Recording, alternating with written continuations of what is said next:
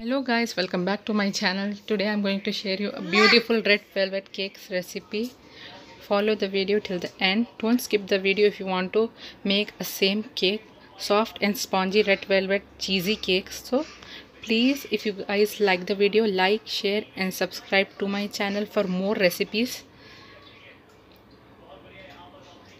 Follow the step all the steps to make a, spongy and beautiful cake